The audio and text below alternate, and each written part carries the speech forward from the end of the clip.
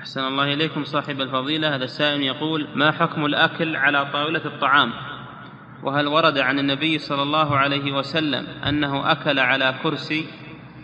لا بأس بذلك. الأكل على طاولة الطعام هذا جالس جالس وعلى كرسي لا بأس ما في مانع. هو لازم أنه يجلس على الأرض يجلس على ما تيسر له.